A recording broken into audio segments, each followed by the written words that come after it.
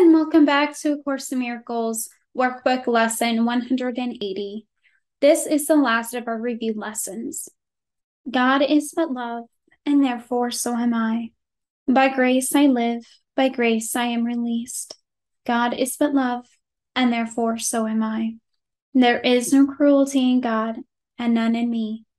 God is but love, and therefore so am I.